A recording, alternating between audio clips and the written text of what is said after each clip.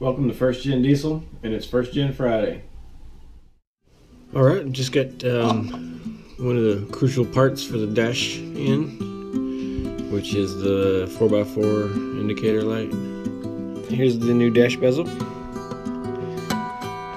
you can see, it's clean, all the parts are there.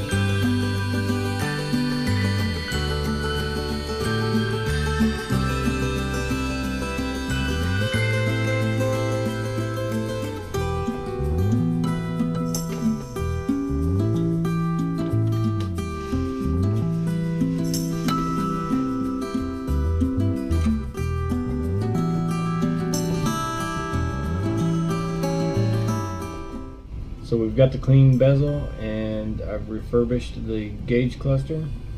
And we've got some other gauges to go along with the performance part of the truck. Um, we decided to go with a, a GlowShift 3-in-1 gauge. So the main gauge is boost and the digital readout on the bottom is going to be trans temp and exhaust temp. Uh, we're going to mount that where you would normally mount a brake controller, you know, down, so you're going to have to look down at it while I had the gauge cluster apart, I went ahead and, and, replaced all the bulbs with LEDs. And I went ahead and did it to Gala also.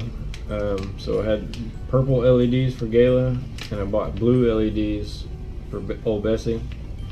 And then I also ordered some low power white bulbs to go into the indicators, like the blinkers and the check engine light and all that stuff. But then we also got this steering column pod so that we can mount the Inspiro tachometer. We've got the uh, the wiring harness that plugs into the factory wiring harness. 92 and 93 is already wired for a tachometer. And then one more thing I've got to show you guys is I got my injectors from the Hungry Diesel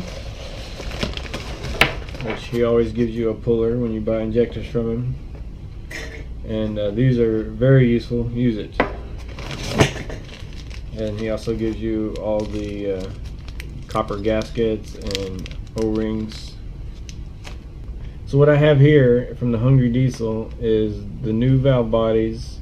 Uh, it's 5 by 12 VCO so this week I'll be installing these. I'll get the fuel lines back on and I'll install the new exhaust manifold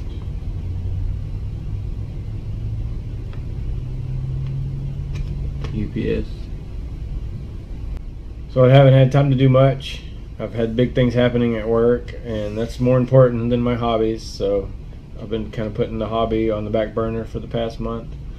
this next week, I'm going to get cracking, and we're going to get Betsy a little further along on the build. I really enjoy making these videos for you guys.